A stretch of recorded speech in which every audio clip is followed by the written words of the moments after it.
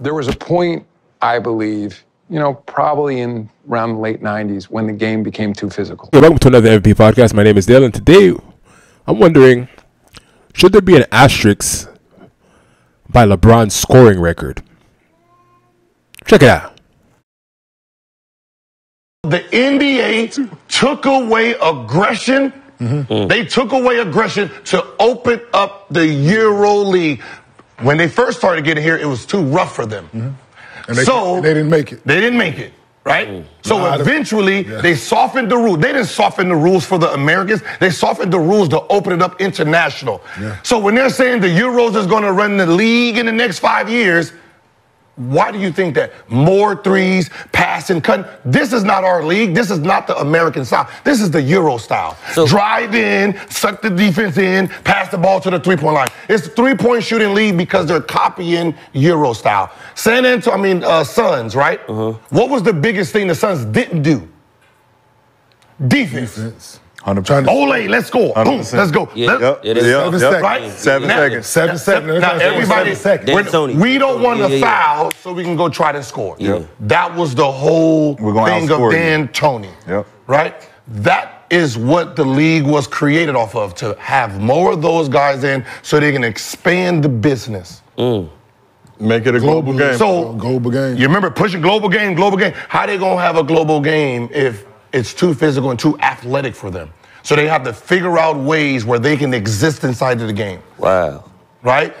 Create more opportunities, bring in more shooters so they can survive. So these guys can become shooters. He cooking. No, that makes He sense because when cooking. He I, They're not ISO cooking. players. Like, He that- cooking. who, He cooking. who is the best Euro that has handled? No, I swear that makes sense because when he was just talking, I'm like, man, it feels like a lot of the issue is like the game is like a three point game now. Mm-hmm. So it's like everybody just shooting, shooting, shooting, shooting, shooting. Nobody's really applying too much skill to get to the basket. Mm-hmm. So when everybody's shooting, you really ain't got to guard a motherfucker because they shooting from the logo or, or they shooting from five feet behind the three point line. So that make a lot of sense. The in- NBA rule changes having intended effect of increased scoring. That's according to Adam Silver. When I'm watching today's game, I feel like I'm downloading the latest play. And what I mean by that is, you know, obviously we can go through each age and see the game or the game and the style of how it's played. When I watch now, you know, points are like 144, I think I saw the other night, and 125. And I remember being in some All-Star games where I think we scored maybe 144, 140.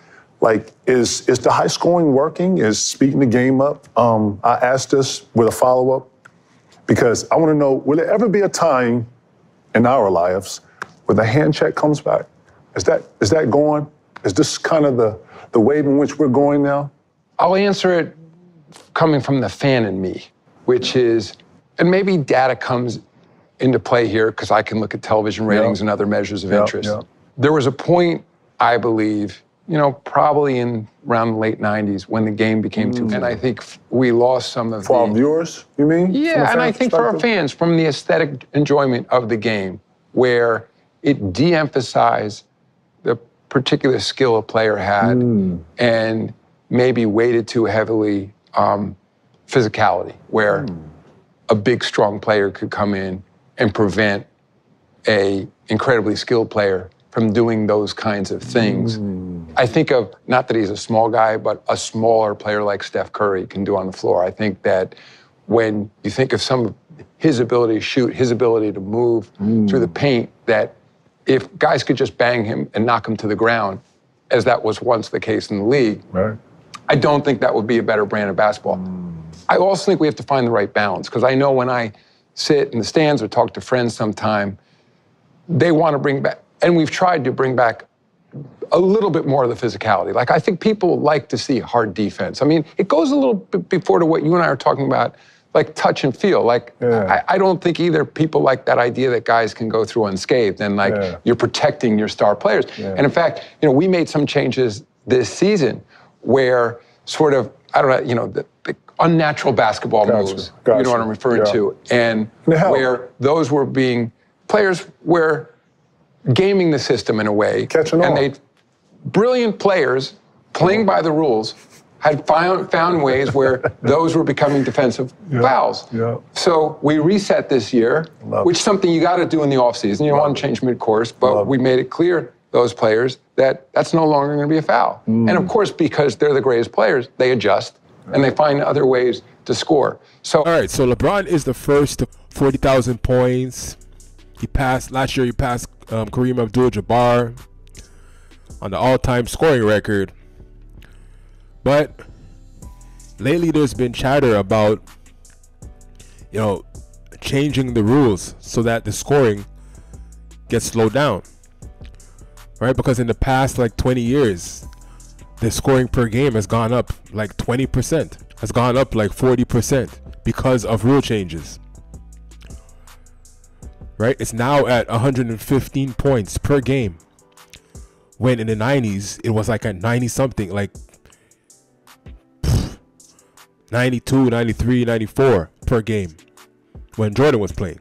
You would routinely see a game, you know, 95, 91, 89, 90. You know, this, these are the games that I grew up on.